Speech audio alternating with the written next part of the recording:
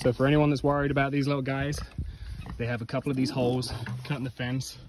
And right now, while they're still small, they have access. They have a dog door to get inside the barn. So they'll be okay. Plus they got the pigs to protect them and that chicken.